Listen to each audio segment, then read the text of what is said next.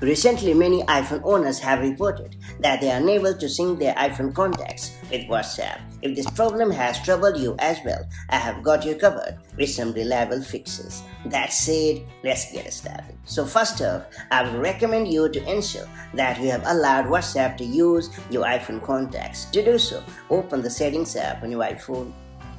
Then select Screen Time.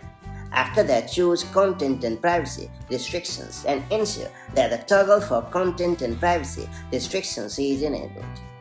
Then you have to select the Contacts option and then make sure that Allow Changes option is selected. After that, tap on WhatsApp and then make sure that the full access option is selected. And then you have to head over to the settings app and choose privacy and security. Then select contacts and after that select WhatsApp and then ensure that full access option is selected.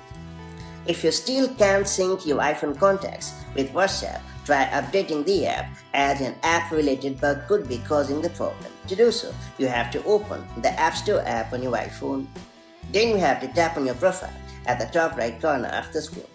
Then you have to scroll down to find WhatsApp and then hit the update option right next to it. And finally, I will recommend you to update your iPhone as a software bug might be causing the problem and preventing your iPhone contacts from syncing with WhatsApp. To do so, open the Settings app on your iPhone, then select General.